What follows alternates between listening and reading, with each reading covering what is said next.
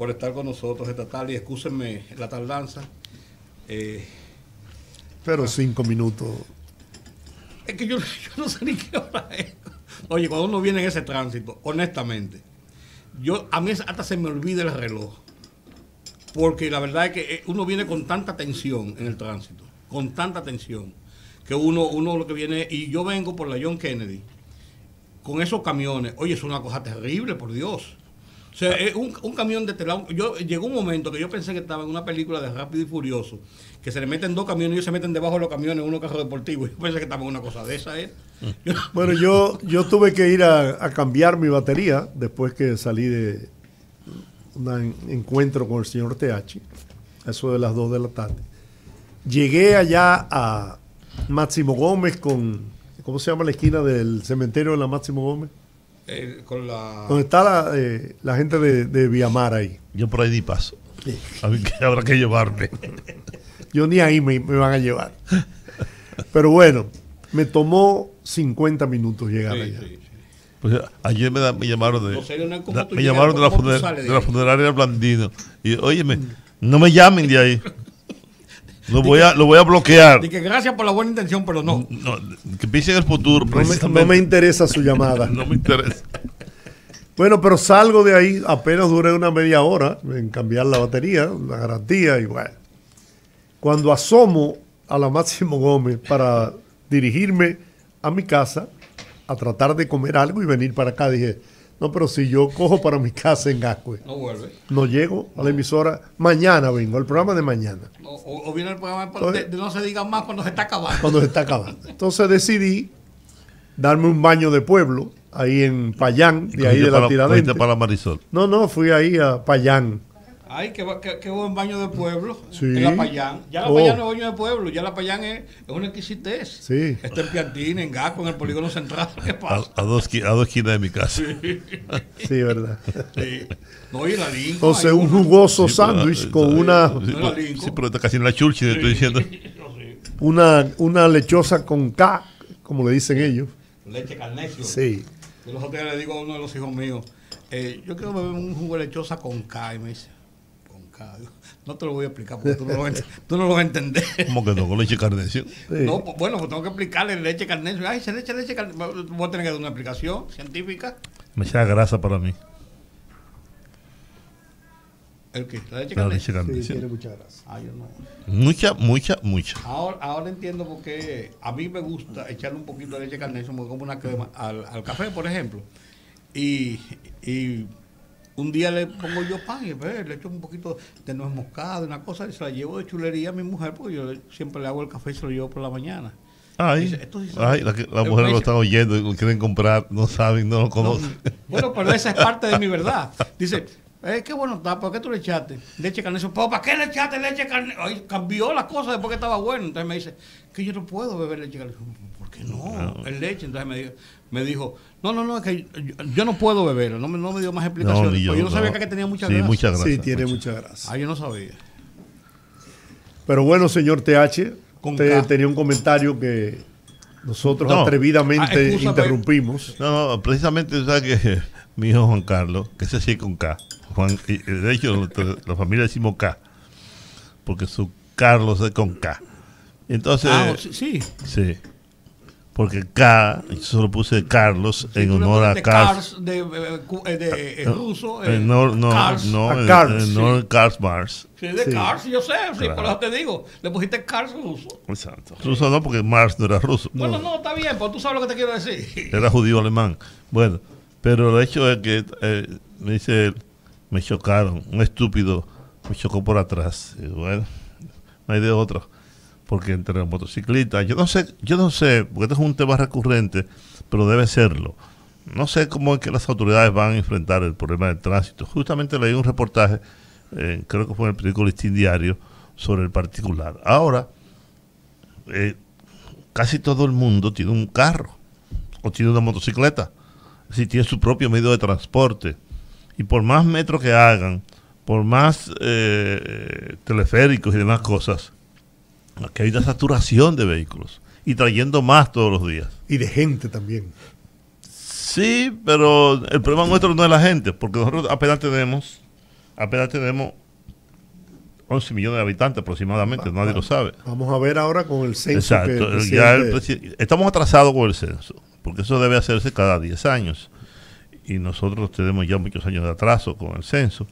Vamos a ver cuánto es la población exacta que tenemos, cuántos son los inmigrantes, etcétera, etcétera. Pero ahí fue una buena decisión del presidente. Eso tiene un costo, es alto, hacer un censo bien hecho ¿no? Eso no es salir a la calle y preguntarle a la gente cómo se llama. No, y además de eso, el censo es mucho más complicado ahora que antes. Antes se medían valores muy mínimos, vivienda, eh, población, eh, o sea, eran 5, 6, 7, 8 grandes eh, ítems, pero ahora con todo lo, de la tecnología, los teletrabajos, la que sé yo, que hay una serie de informaciones que se levantan para ser más completa lo que es una población determinada. Y hay muchas variables ahora. Yo oí a alguien hablando una vez sobre el tema del censo hace tres, cuatro años, qué sé yo, cinco años.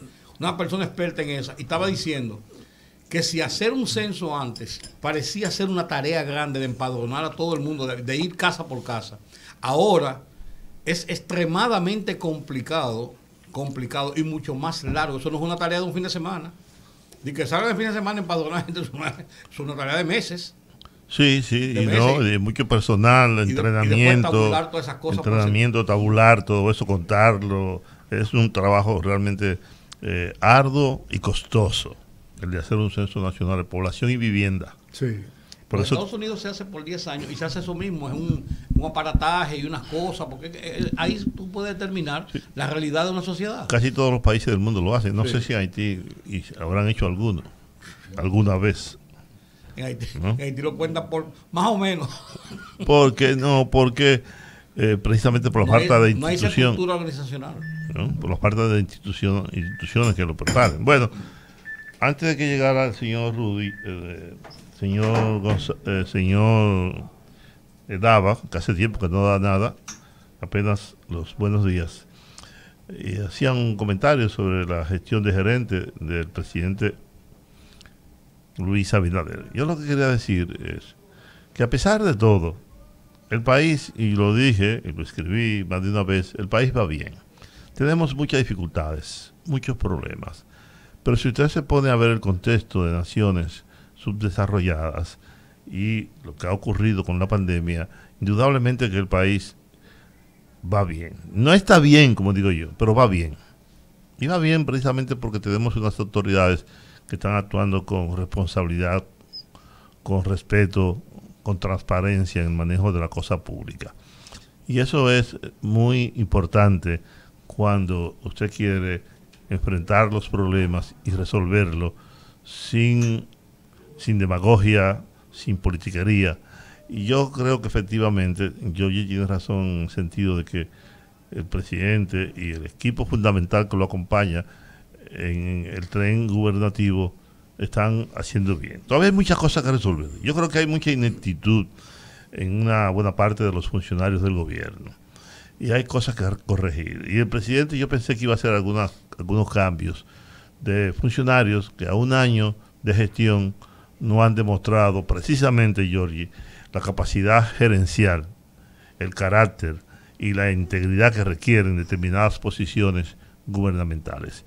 Y en eso también consiste el ser un buen gerente, en tu saber de tu personal quiénes son los que tienen la capacidad necesaria y quiénes no la tienen.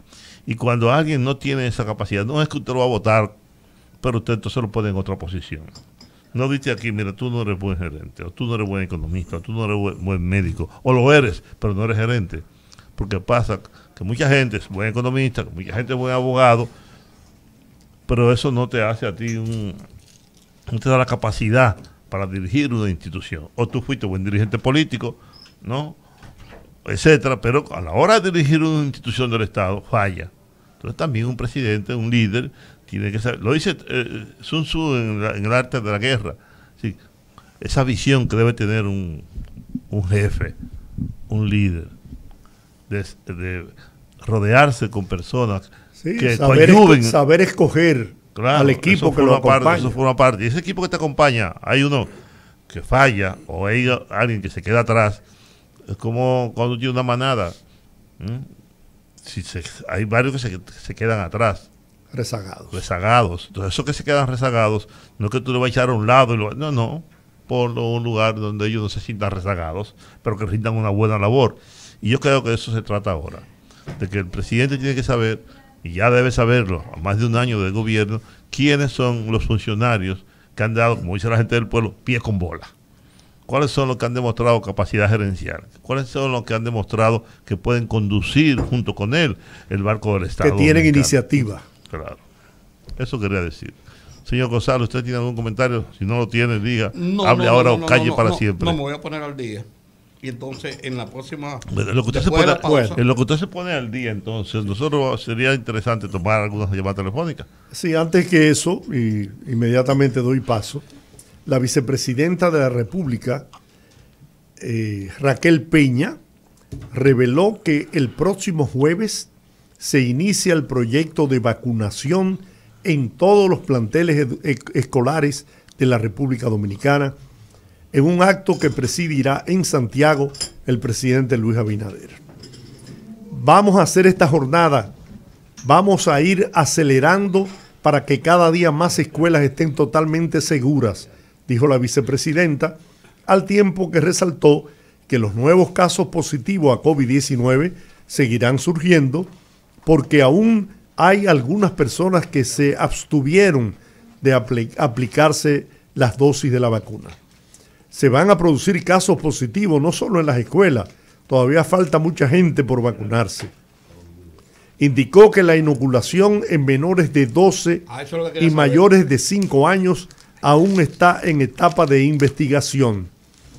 Hasta que los estudios no den positivo de que se pueda vacunar a los jóvenes y niños en esa edad, por supuesto que las autoridades pertinentes no pueden tomar esa decisión. Se van a vacunar de 12 hacia arriba. Hacia arriba. Sí, que, que, bueno, de 12 están vacunando ya con la Sí. Pfizer. De 12 hacia arriba. ok. Bueno, eso, es, eso es lo que te quería preguntar, si no, si no estaba consignado eso, porque la mayoría son niños entre 6 y 12 años. Buenas tardes. Hola, ¿cómo están? Hola, aquí por cabeza dura. Ah, sí. Larisa les habla. Hola. Eh, los escucho, los escucho hablar del tránsito. Ese es mi, mi dolor de cabeza diario porque yo trabajo en la calle, yo soy vendedor. ¿qué Sí. tú vendes, Eh, Larisa? realmente, yo, productos alimenticios, o sea, ahora ¿Productos? trabajo en una fábrica de alimentos y he trabajado arroz también. Supongo que te fue mal en ese negocio durante la pandemia y ahora han ido mejorando las cosas. Está regular, no muy, no está muy bien. Las ventas están muy, muy malas. Aún habiendo, o sea, inciden mucho la- las variaciones de precios. Hay muchos factores que tienen, realmente los negocios no están bien. O sea, la economía está muy lenta, muy, muy lenta. Eh, los escucho hablar del asunto del tránsito y yo me pongo a pensar si, por ejemplo, en la capital, para salir a trabajar en las mañanas, se mueve, por decir un número, un millón de personas, no es lo mismo trasladarlos de 5 en 5 en carritos que de 50 en 50 en autobuses. Lógico. O sea, el caos aquí no se va a acabar hasta que no haya una gente que venga y arrase con toda esta cultura de, de- yo no sé ni qué decirle, si es que, que tener todos estos carritos en la calle, todos estos tiestos, porque la mayoría son tiestos. O sea, ¿a quién es que beneficia eso? ¿Por qué es que no se ha hecho un plan para en verdad coger el tránsito y hacer lo que hay que hacer? Mira, yo en planes- verdad no lo entiendo. Los planes están hechos, Larita, los planes están hechos, pero óyete, hasta que no llegue un gobierno, no estoy hablando de este, del anterior, de, este, del anterior, del anterior ni del que viene, un gobierno que rompa ese, ese monopolio y, es, y, es, y ese poder de los carros públicos en la calle y ordene eso. Hasta que, hasta que eso no llegue no va a pasar, no, no, no vamos a resolver el No problema. va a suceder, no va a suceder. Óyeme, yo vivo diariamente el ejemplo de lo que es carretera de Mendoza. La- los sindicatos que están ahí, que dicho sea de paso, de cada 10, medio es dominicano, los demás son haitianos. O sea, carretera de Mendoza entera, todos los choferes de carro público son haitianos. Te estoy hablando que de 10, la mitad de uno es dominicano. Entonces, ellos han dañado el tránsito en carretera de Mendoza y nadie ha hecho nada. Entonces, ahora carretera de Mendoza no sirve. Ellos lo saben y están tomando las urbanizaciones a los lados de carretera de Mendoza para ellos transitar, dañando el tránsito también ahí adentro. O sea, nadie hace nada con relación a eso. Yo vivo hablando de eso, pero es que aquí nadie se da cuenta de que esa gente están acabando por las calles interiores de Alma Rosa, de Ralma. O sea, es un caos lo que hay en Alma Rosa, Segundo y Ralma. Ellos se están adueñando de esas calles también para convertirlas en otra carretera de Mendoza. Gracias, Larisa. Esto es caótico por aquí, caótico en verdad. Tienes razón. El problema no es si son Es- dominicanos o son haitianos. El problema es la falta de autoridad. problema es la falta, sindicatos, la falta de consecuencia para el que viola la ley. de ordenamiento, de ordenamiento, de ordenamiento de, ur- de, de, de ordenamiento de tránsito. Es- es- esto es imposible andar en la ciudad. Ya es imposible. Es imposible, o sea, esto es un caos, como ustedes dicen. Bueno, pues gracias, Cuídense, chicos, gracias. Bien, un abrazo, amor. Aquí ahora, buenas tardes. Muy buenas tardes, los poderosos. No, Gracias. no me incluya a mí en ese paquete. Ay, por favor. Eh, gracias. Dale Bue- para, dale bueno, para- Juan, eh, primeramente el taxista de la zona oriental, que hacíamos menos llamada. Oh, ¿Cómo tú estás? Yo- yo, eh, vivo y suelto. Así es que estamos. Óigame, Juan, si lo fuéramos a comparar, como son los poderosos, si lo fuéramos a comparar con lo de la liga, usted fuera Superman, Mm. ya usted sabe, y Batman y, el hombre araña están por ahí, y la Mujer Maravilla, que no le sentí hoy. El hombre daña es Rudy. Bueno, óiganme, la señorita que, que acaba de, que concluyó la llamada, yo soy taxista y vivo en la zona oriental, y esa carretera de Mendoza es exactamente como ella dice. Y como ya no caben en, en- en la carretera de Mendoza, usan los residenciales para desviarse, o sea, han, han hecho ruta in- interna, quitándole la paz a esos que viven en esos residenciales, que por eso compran ahí para estar tranquilos. ¿Usted me entiende? Así que muy de acuerdo con ella. Pasen buenas tardes. Bien. Buenas tardes para usted. Hola, ¿qué tal? Buenas tardes, los poderosos en el aire. En cuanto al tránsito, es verdad lo que dice, porque que cada uno piensa en tener un vehículo en la casa. La mujer mía y yo andábamos en una pasolita, más voceaba la gente, bueno, ya usted tiene que comprarse un carrito. Ahora ya tiene un carrito y yo tengo una jipeta, entonces. Eso de contarlo.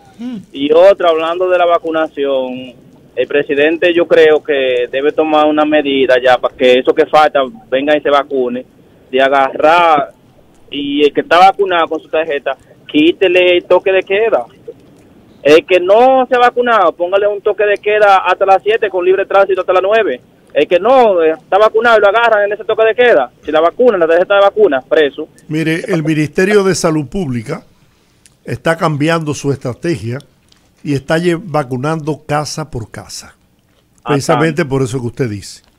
Como la gente ha sido apática en los últimos meses, en los últimos días, entonces se ha tomado la iniciativa de ir a tocar la puerta a, la casa de usted A la- a- Yo le para ir a llevarle salvación Que es una de su vida. Que es una vergüenza. Que es una vergüenza. La gente debe, debe, debe ir. Por Dios. Yo tengo 30 años y tengo las tres vacunas puestas. Le pregunto, mil y pico de puestos ¿Usted de se vacunó? vacuna. Y me dice, no, no, yo no me he vacunado todavía. Por eso es que estamos así. Todavía que no han quitado el toque de queda aquí en La Vega. Salgan, ustedes, salgan ustedes a buscarlo y denúncienlo a ellos en la calle. Ustedes vacúnense. Y vamos a hacerle eso, por Dios. Bueno, será. Debería poner un letrero como ponían antes. En esta casa Trujillo es el jefe. Bueno, ahora debe poner uno que diga, en esta casa estamos vacunados. No, y otro que le diga, vacúnate, grande, la puerta de la casa. Lo que Sin no vergüenza. Hola, ¿qué tal? Buenas tardes. Por Dios. ¿Cómo están ustedes, muchachos? Bien. Bien. Bien. Rudy, para darle las gracias de nuevo por la canción, mi esposa eh, encantada, como siempre. No, Rudy no, para, y para Juan. nosotros, para nosotros es un placer poder poder satisfacer una y, No, más, y, más, y, más si está la doña de por medio yo no sé leer pues dice peligro Oiga, yo, yo preguntándome, Juan, ¿qué tan, tan influencia, tanta influencia puede tener el, el ministro del Intran en el gobierno que, que no le jala las orejas? En Intran no hay ministro. ¿O que no? No. porque eso no es un ministerio. No, no. Oh, eh, oh, y no, el, el, el ministerio, eh, lo que dirige, lo que dirige todo el tránsito, ¿cómo que se llama entonces? sí, pero es, es un, es un- Una dirección. una dirección. No es una Ah, un bueno, pero ¿qué, qué tan, qué, tan, ¿qué tan fuerte puede ser ese señor? Porque mire, este desorden que tienen los guagüeros y carros públicos, oye, y, y los camioneros también, esto es incontrolable. Yo vuelvo y digo lo que dije ahorita. No es Los una- motoristas subiéndose por elevado, sin casco, Sí. eh, yo- como que como que no hay nadie que controle en nada. Se van en rojo, como como como como que no, como que que importa a mí que se joda todo el mundo. Ahí es. Eso no es un asunto de es un asunto de es un asunto de una decisión de, de- de- definitiva de Bueno, autoridad. el, Vamos a presi- el presidente el presidente escucha este programa todos los días y to- y estoy oyendo al pueblo hablando. Así sigo es. escuchando. Bueno, Bueno. gracias, gracias. Las 5 con 28 minutos, 29. A que vamos a tomar esta llamada, luego nos vamos a la pausa comercial. Buenas tardes. Buenas, Juan. Sí. Hola. eh, don George. Aquí estamos, los- aquí estamos los tres que sacaron a Pedro del Pozo. Ya veo. Y, y, y lo sacamos seco. Sí. Un asunto. Como, como Rinaldo Pared, que salió del lobo Ay. sin enlodarse. Ah, Exactamente. Mire, un aspecto. No, eh, en la calle Polvorín, y don George sabe cuál es Claro. Claro, entre las Mercedes y la Juan Isidro Pérez, una cuadra. Correctamente. Ahí, vivió, ahí vivió la familia del profesor Juan Bosch. Ahí vivió Freddy Vera Goico, ahí vivió Luchi Vicioso. Luchi Vicioso. Sí, sí. Y en la esquina estaba la funeraria La Blandino. Blandino. Ahí, ahí hacen las cajas y la vendían. Exactamente. Yo vivo justamente al frente de la casa donde vivía el profesor Juan Bosch. Ah, qué bien. Y, y- y la hermana de don Juan, que murió ya hace unos años, y, y el hijo tiene una, una, una empresa, una compañía eléctrica. Ok. Pero yo le estoy llamando para lo siguiente. Para. Justamente en la calle Polvorín hay una camioneta que está reportada a la DGC. Eh, una camioneta que los, los, las personas que vivimos aquí nos tomamos por varias vías.